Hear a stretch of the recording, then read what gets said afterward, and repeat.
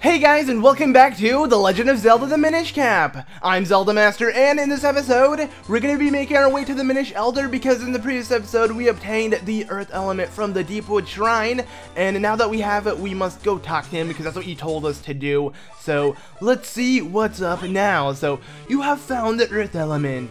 You are blessed with much courage and strength for one so young. If your convictions hold strong, head to Mount Crenel. There, you will find a, a man named Melari. Among all the Minish, there is no one more able to repair your sword. If you ask him, he will surely reforge the broken Picori blade. I shall send him word in advance. Travel safely. You are brave, but there are many evils now in the world. Okay, so that's what we have to do. We have to head over to Mount Crenel, where uh, we'll find a blacksmith Minish that will be able to reforge the broken Picori blade. So leave through this door, okay, whatever. Um, so yeah, great, Elder. Uh, yeah, whatever. I don't really care what he has to say. Let's just go ahead and get started and get moving. So yeah, the first couple episodes were pretty slow, but now the action is going to begin. We have a lot to do. So there was a secret pathway here that we can easily make our way out of uh, the Minish Woods. Well, we're still in the Minish Woods, but we're going to make our way out real quickly. The first thing you want to do, and this is really important, is talk to this little Minish guy in this mushroom house. So, green clothing, mist a mystical hat? Sir, would you by chance be Link, the one who found the Earth Element? Wow, word sure does spread quickly. Uh, surely you are. I heard so many things about you. I have no idea how, because I literally went and talked to the Elder, like, just this second. But, um, this is Belari, and he is gonna give you a super duper important item.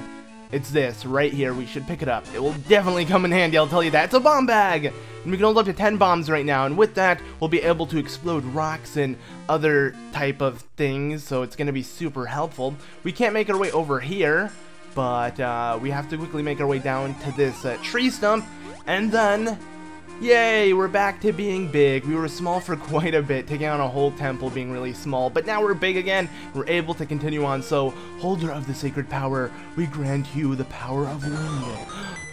what was that? Hmm, whoa, it blew up? Hey kid, look at where the stone used to be. There's some strange symbol on the ground. Yes, of course. Why, that must be... Well, I haven't the foggiest, to be honest. Hmm. Alright, cool. so, this is gonna play something really important later on, so if you find any more of those stone things, you want to click A, buy them to interact, and they will all explode. But anyways, what we want to do now, while we're heading back to Castletown, or the Castle Marketplace, we want to try to collect as many rupees as we possibly can. It's going to serve us pretty well, so you're going to find me cutting grass quite a bit in the beginning of this episode, and that's mainly just so I can collect as many rupees. Once we do have 80, I believe, uh, I won't collect as much, so we only need like 20 more. Anyways, here are the bombs. So let's go ahead and place them in front of these rocks and wait a little bit. They should explode, and voila! The path has been revealed. So awesome, now we can exit this place from here. And oh wow, I picked up a blue rupee. This is really good because I want to get as many as I can.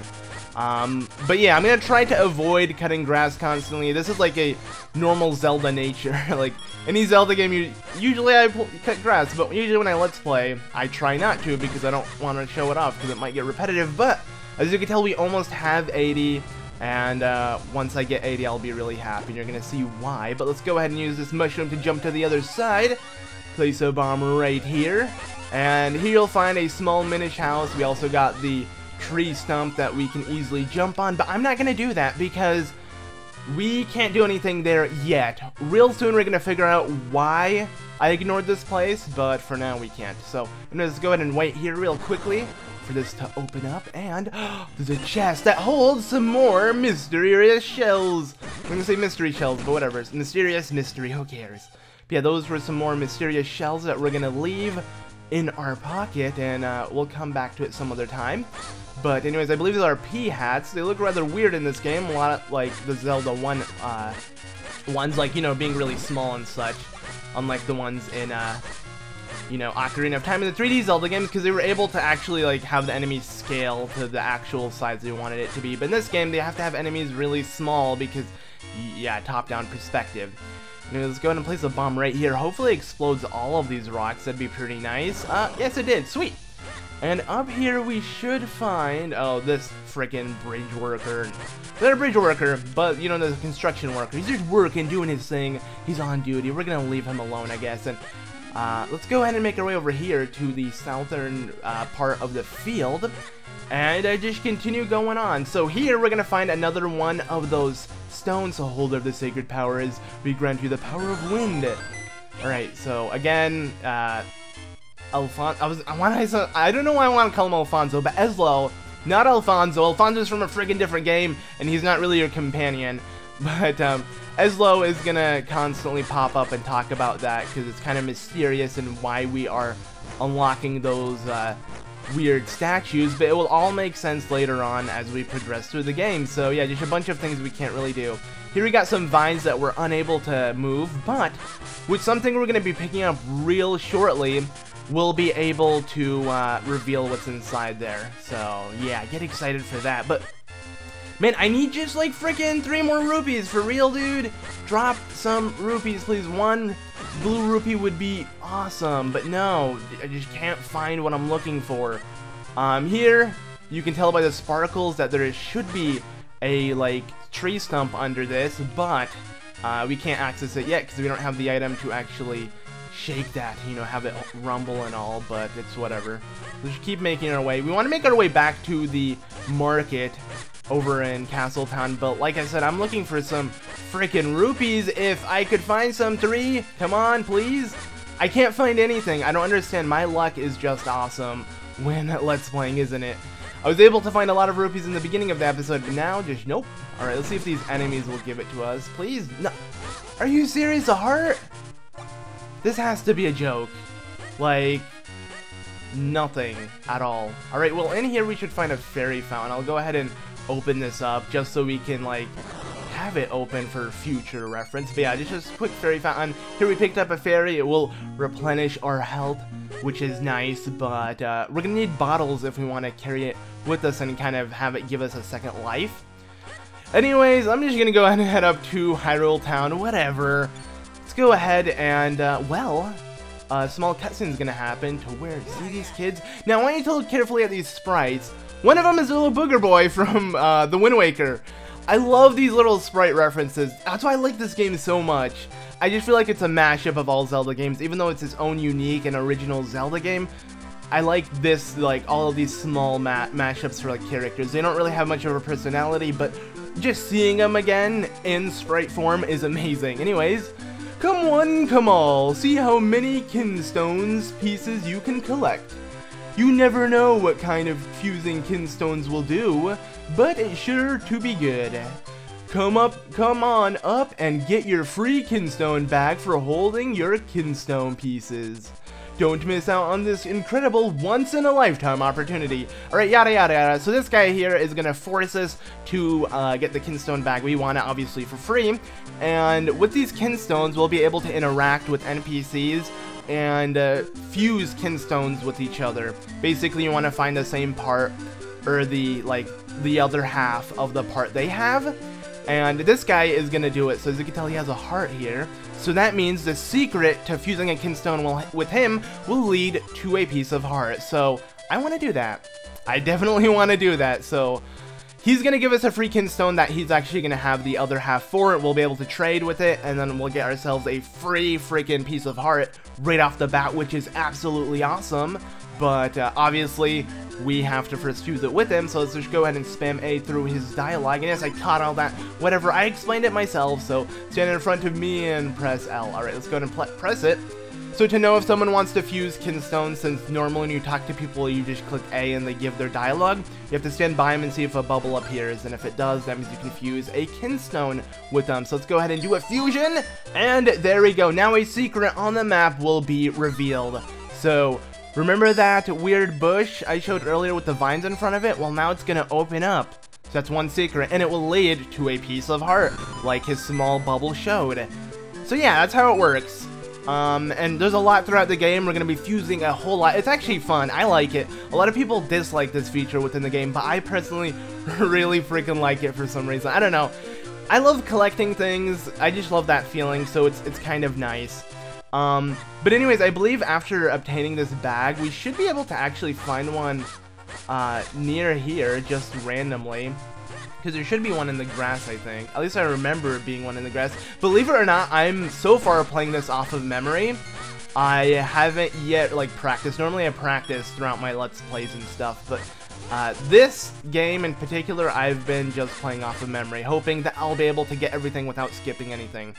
Um, but yeah, so I guess not. Maybe there is, but if, if we can't find it, it's whatever. I'll come back later and look for it. Let's go ahead and head over here, though, and pick up this piece of heart. Yeah. With this piece of heart, we can start working on a new heart container, so not bad. Alright, now that that is done and doneer uh, and everything, we don't want to head back home. We want to make our way back to Hyrule Town I like the name for that. I prefer Castle Town though, because I mean it is in front of a castle, but whatever. They gave it that in later games. Uh, I'm gonna call it Castle Town a lot. Excuse me if I do. You know, it's whatever. It's pretty much the same thing. But this shop here, obviously, if you couldn't tell by the big rupee on top of it, um, some pretty cool stuff. So we can pick up a shield, 10 bombs, we have 5, we're good. We can buy a bunch of more mysterious shells, but I'm good on that. What I want to buy is this. That's why I was working for 80 rupees, because for 80 rupees, we can carry more money. So yeah, I actually really need this, because when we start carrying a bunch of money, we're going to need a bigger wallet instead of only holding up to 99 rupees. So if you'll notice, the small rupee icon from green, it turned to blue. So yeah, I really like those type of upgrade icon things they show. Man, I actually really like this place. I just realized freaking Hyrule Town is so fun in this game. Oh, look at that! The Postman! Yeah, from Ocarina of Time and Majora's Mask and Twilight Princess and whatever else, he's in this as well. He's running around doing his Postman thingies. All of these NPCs will be able to interact with later on and have a blast with them. I mean, I'm excited. I am loving this Let's Play. It's gonna be awesome. I hope you guys are too. Anyways, now what we want to do before I get ahead of myself is make my way back down here. I actually really like rolling too. Rolling is pretty awesome, but yeah, okay, so I'm gonna ignore this coffee shop, even though I can totally go for a nice cup of Java. Um, this house over here is a really important house that you're gonna be re revisiting quite a bit, so let's talk to him. I am Swiftblade. That's a weird name, honestly, but whatever. Finest swordsman in all of Hyrule. If you train with me, I guarantee you will increase your skill dramatically. So, would you like to train here? Please, yes. Senpai, please. okay. Um, but this guy is gonna be our master. He's gonna teach us the most legendary moves of all time, and we're gonna start off with the spin attack. So we're gonna build up power with B and then release. You know, if you played Zelda, you should know this move because it's a pretty common move in almost every Zelda game. So yes, I do understand. He should show us first though, because he is the Swift Blade. So uh, let's see how he does it and then we need to learn it. We actually need to learn it to progress. It's kind of weird how this works, but you're gonna see in a like bit what I mean by why we need it so badly to even progress throughout the game. So let's just keep spamming A here. All right, switcheroo. He's gonna do it. He, actually, no, I think he's like controlling our mind to do it or something. So yeah, he did. Now we have to try it. So after he did it on us, let's go ahead and do it by ourselves without him telling us how to do it. So I'm gonna go ahead and charge until it's fully charged, and then release. And with that, yes, we have learned it. And that sound effect you heard there was the exact same kind of sound effect from Majora's Mask when you learn from the swordsman teacher in uh, Clock Town. It's like the same one. I know there's always that Zelda dingle, but that one has that weird tone to it that sounds exactly like it. I believe the background music is also the same that plays in that area. It's crazy. I love it. Love all the small references to other Zelda games. It's just awesome. Zelda always has that, but this one I just feel like is packed with it, and then with the, uh, you know, 64-bit graphics just really add on. So I love it. Um, yeah, you're gonna find me reminisce a lot throughout this game, but I can't help it, man. I just can't. Right, so this uh, guard uh, is blocking the area to Mount Crenel, and that's the area we want to head to. So let's go and talk to him. So, ho ho, if you learn the spin attack, uh, it's dangerous, but maybe you can handle it. Well, let's see how you do. Show me that spin attack, so they want to make sure you know it. Let's go and charge, and voila! Or, yeah, that's the one. But there are monsters out there, kid. Uh, just, uh, spinning really lets you continue on. I don't understand, but whatever. So anyways, we're to be making our way to Mount Crenel, but, um, we need to pick up something really, really important that uh, I actually don't have the rupees for, but we'll be able to get it. So down here, hold something really important that will actually let you progress uh, throughout Mount, Kern Mount Crenel, but we're gonna have to make our way to that area really quickly first, just um, so I can do something. So I'm gonna ignore this, quickly make our way here. So here we are, and you see these 20 rupees? Well, if you don't have rupees like I, um, you'll be able to pick this up, and for 20 rupees back at that like small ladder I showed you guys earlier, um, we'll be able to buy a really handy item that will allow us to continue on. So yeah, I'm glad that they give you the rupees for this because you really freaking need it. Would have sucked having to grind for another 20 rupees. So let's go ahead and place this right here. And if we wait a little bit, there we go, it has exploded. And we should find a Deku Scrub. Let's go ahead and take our shield really quickly. Get ready to block. Now we can buy something from him, so talk to me. Okay, you got me. Let me make it up for you. Uh, you can have the deluxe of all bottles for 20 rupees. All right, sure. I'll give you 21. Well, you can't, so whatever. Give me that empty bottle, son. Yeah. All right, so thanks a lot. no problem, dude. And with that, we have a bottle. And this bottle is going to be really helpful in Matt uh, because... I, I don't know why, but I keep wanting to say Colonel, like freaking Colonel Sanders. God dang it, Colonel Sanders. But yeah, it's Kernel, I believe. Um, anyways, uh, yeah, see what this bottle will be able to uh, put water in it, and then just drop it like that. And now this small beanstalk will grow. We'll be able to climb up. But before I do that, you can blow up this wall, and this wall is going to have a Deku Scrub that will tell you uh, if you need help. A Deku Scrub towards the uh, west will help us out. I'm gonna ignore him for now because I need to kind of like save my bombs because yeah it's gonna be really important. Anyways you'll notice some uh, freaking falling rocks and things that we're gonna want to avoid. Up here is something you don't want to forget though this is gonna be really important and uh, that is well a fairy fountain. So I'm gonna go ahead and quickly put you in there. There we go. So we got a fairy and uh, with that and the rupees I'm gonna be picking up from this uh, we will uh, continue on. Uh, and I think, yeah, I think we're pretty much good from here. So let's go ahead and keep going. Um, let's see. I don't think there's anything else I need to worry about. But over here, we should find the guy that will help us. I believe, actually, no, down here is where we can buy bombs for 30 rupees. And we do need to do that because I'm almost out of bombs, but I don't have 30 rupees. So I'm going to have to wait a bit. Hopefully we'll be able to find him soon. But let me quickly head inside here. Oh, this will actually let us advance onwards, so I don't want to do that yet. I actually want to head over this way because we will find another secret uh, right here. You'll notice, you know, in between these two fences that something should be secret in here, and it is. So, yeah, there you go. I don't know why, but I'm like gonna choke on my own freaking spit. But up here, let's go ahead and blow up this we'll get something really important that it's really easy to avoid. I realized I didn't really need to have this fairy on me, so my bad.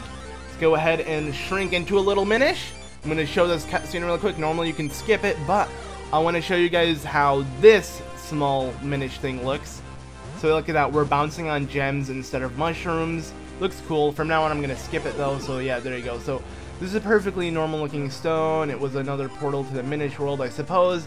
I have remembered that if I stop to think about it. Okay. Cool, but we were able to figure it out because we're not stupid like you, Ezlo. yeah. Means in this small uh, pathway, we'll be able to make our way, oh jeez, make our way up here and pick up some nice Crenel Hot Spring Water. Yum. And with this water, we can now, um, we can, we can do something special later on. I'm not really going to spoil what it's for, but uh, keep that in mind. Anyways, I really need rupees because I have no more uh, bombs, and need to buy bombs, and we can literally get a set of 10 for, um, for 30 rupees, so kind of in a pickle here, actually. Oh, never mind, we got bombs, yay! Alright, screw all that screw it, I don't need anything else. That, that was actually really lucky, so we have five more bombs, and I think that will do enough to continue on. I hope so, at least. I could actually try to use my uh, Gust Jar here and suck up this stuff. Maybe I'll find something? I don't know. I doubt it. But it's always worth trying, I guess. Uh, let's go ahead and suck up some more. And a little more. Alright, you know what? I'm going to end off the episode here before I get ahead of myself and just mess around. But um, in the next episode, we're actually going to scale this thing for real and uh, get far within it. So, yeah, thank you all so much for watching this episode of The Legend of Zelda The Minish Cap. I've been Zelda Master, and I'll see you all in the next one. Goodbye!